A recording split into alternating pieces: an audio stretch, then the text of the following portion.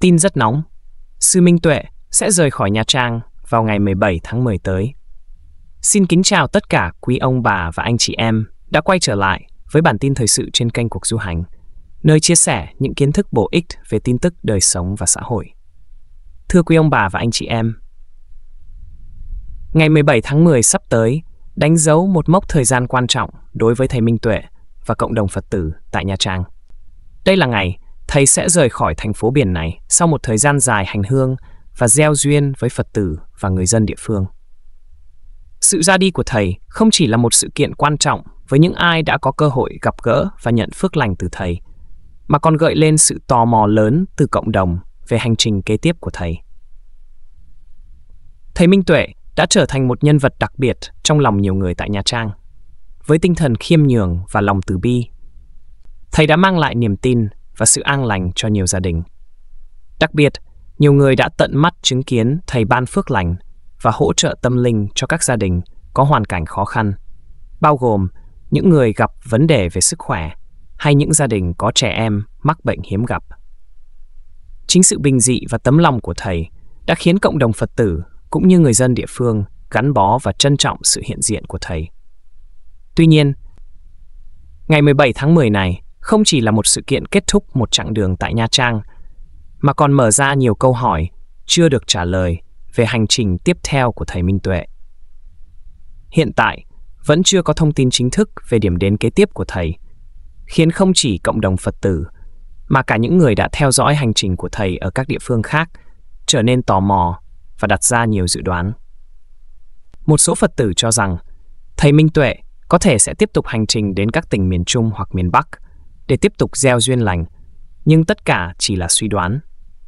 Trong khi đó, một số khác tin rằng thầy sẽ chọn một nơi yên tĩnh hơn, có thể là một vùng xa xôi ít người biết đến, để tiếp tục con đường tu hành và mang lại phước lành cho những người cần sự giúp đỡ tâm linh. Dù địa điểm tiếp theo của thầy là đâu, sự tò mò và kỳ vọng từ cộng đồng vẫn tiếp tục gia tăng mỗi ngày. Ngoài sự tò mò về hành trình mới, nhiều Phật tử cũng bày tỏ sự lo lắng về việc không biết liệu họ có thể tiếp tục gặp gỡ thầy trong tương lai gần hay không. Đối với nhiều người, thầy Minh Tuệ không chỉ là một vị thầy tâm linh mà còn là nguồn động viên lớn trong cuộc sống, giúp họ vượt qua những khó khăn về tinh thần và tâm lý. Do đó,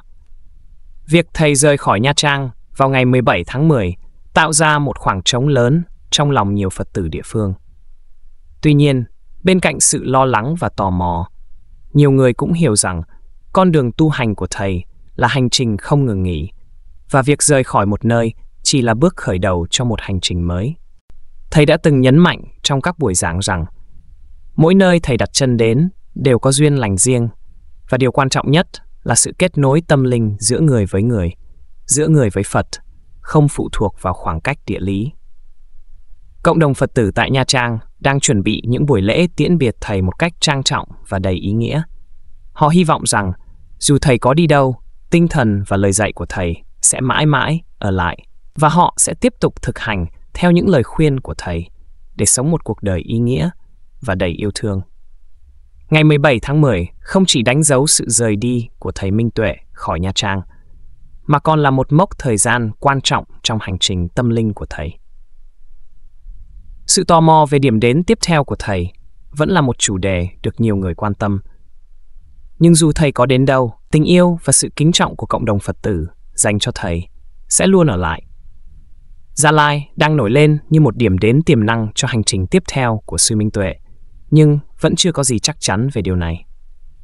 Có nhiều yếu tố cần phải được xem xét và đảm bảo trước khi quyết định chính thức được đưa ra, đặc biệt là về an ninh và trật tự tại địa phương. Sự quan tâm lớn từ cộng đồng Phật tử và người dân đến thầy trong suốt thời gian qua khiến cho bất kỳ kế hoạch nào liên quan đến sự xuất hiện của thầy đều cần được chuẩn bị kỹ lưỡng để tránh gây ra sự xáo trộn hoặc khó khăn cho địa phương. Gia Lai, với phong cảnh thiên nhiên hùng vĩ và không khí thanh bình, là một nơi lý tưởng cho sự tĩnh tâm và tu hành. Tuy nhiên, yếu tố an ninh đang là một trong những vấn đề quan trọng được cân nhắc. Trong bối cảnh lượng người hâm mộ, Phật tử và những người theo dõi thầy Minh Tuệ có thể đổ về với số lượng lớn, việc quản lý trật tự công cộng và đảm bảo an ninh cho khu vực trở thành ưu tiên hàng đầu. Chính quyền địa phương cũng phải đảm bảo rằng sự hiện diện của thầy không gây ra xung đột hoặc bất tiện cho người dân địa phương.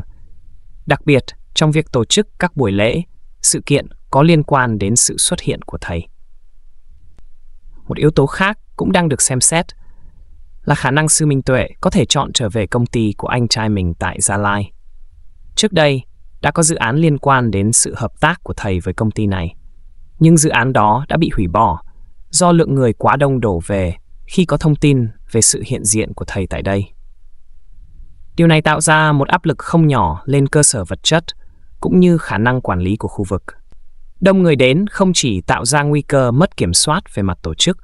mà còn gây ra những vấn đề về môi trường, giao thông và an ninh, điều mà chính quyền địa phương và gia đình của thầy không mong muốn lặp lại. Chính vì vậy,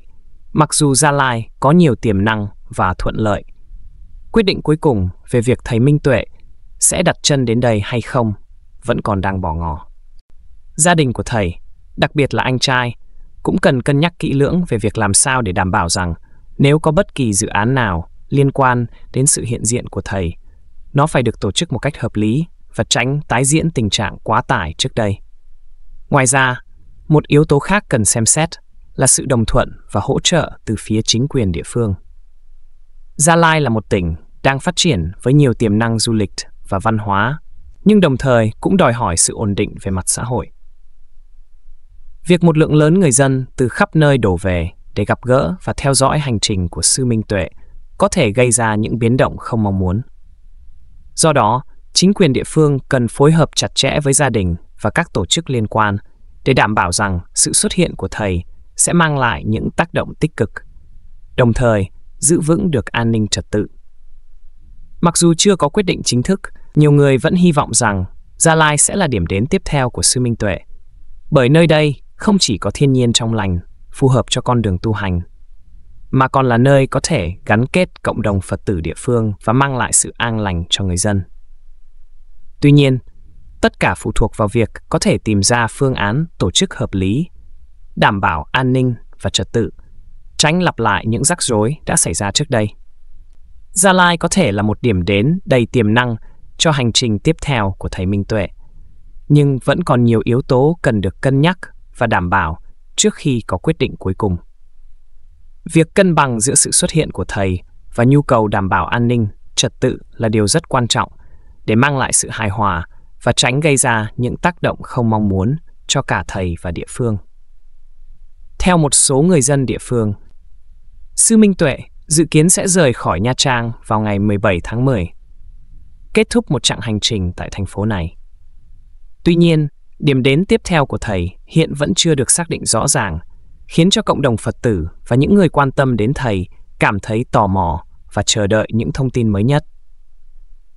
Dù có những dự đoán và hy vọng về hành trình sắp tới của thầy, nhưng hiện tại vẫn chưa có thông báo chính thức nào về việc thầy sẽ đi đâu sau khi rời Nha Trang.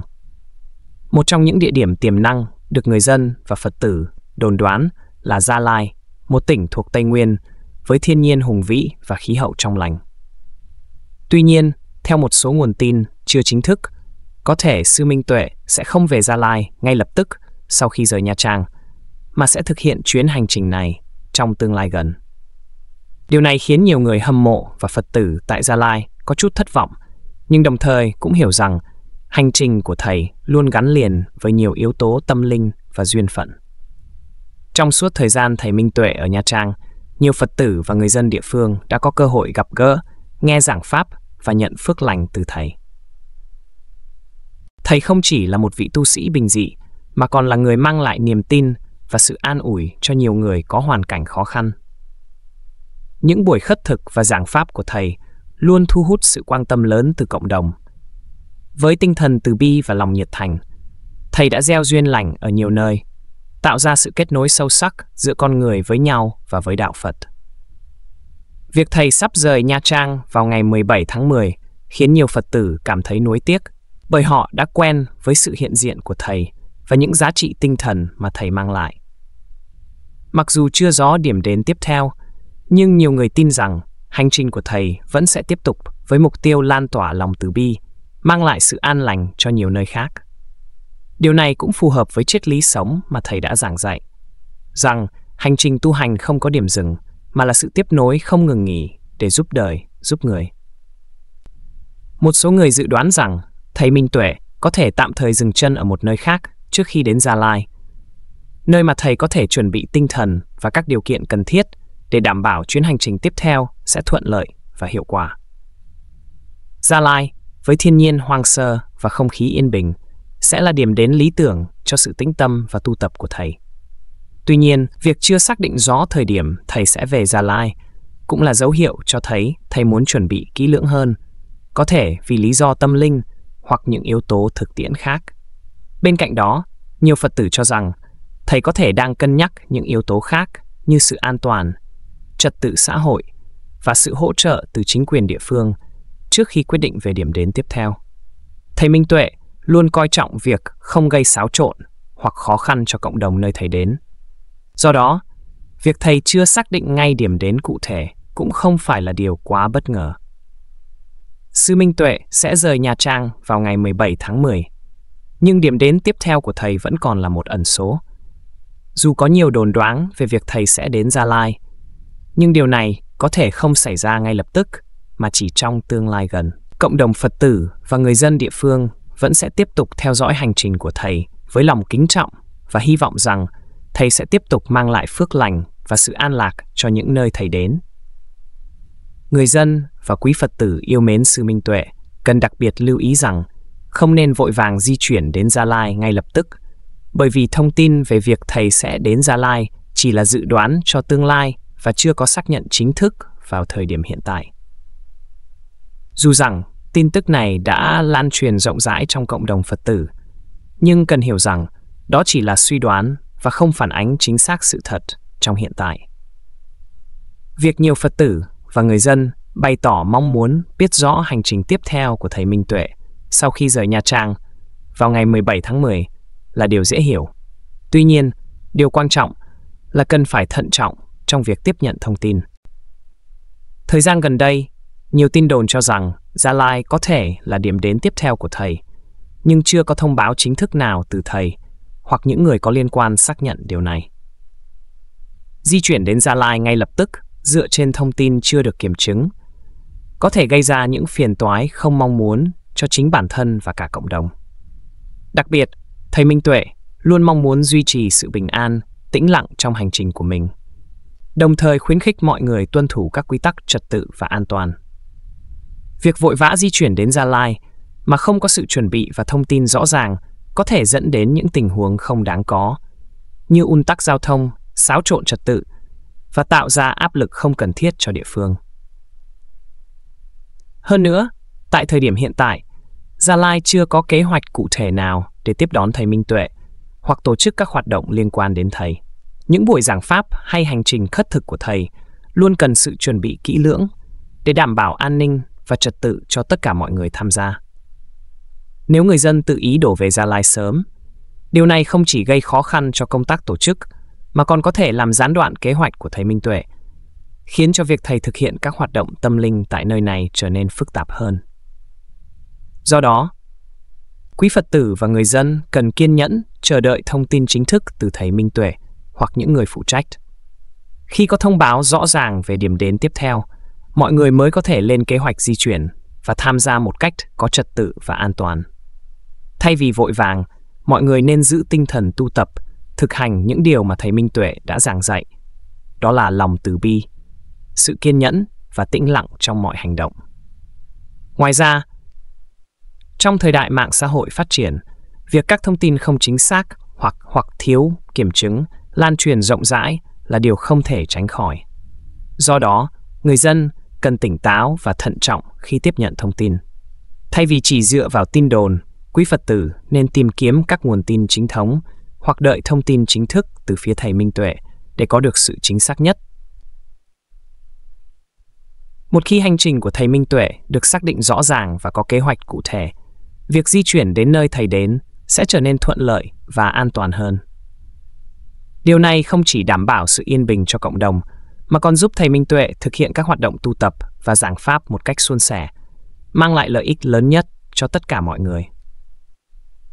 Việc di chuyển đến Gia Lai ngay lúc này là không cần thiết và có thể gây ra nhiều khó khăn cho cả người dân và chính quyền địa phương. Thông tin về việc thầy Minh Tuệ đến Gia Lai hiện tại chỉ là dự đoán cho tương lai và chưa có sự xác nhận chính thức. Vì vậy, người dân và quý Phật tử cần kiên nhẫn chờ đợi và chỉ nên di chuyển khi có thông báo rõ ràng từ thầy Minh Tuệ hoặc những người phụ trách. Điều này sẽ giúp duy trì trật tự, an toàn và sự yên bình cho cộng đồng và cả hành trình của thầy Minh Tuệ. Hiện nay, khi nhiều ngôi chùa chiền trở nên vắng bóng Phật tử vì có những thợ tu lợi dụng tín ngưỡng để trục lợi tiền cúng dường, việc thành lập công ty Phát Tâm Thiên Định Tuệ được cho là nơi sư thầy Minh Tuệ sẽ về tu hành, đang được dư luận quan tâm.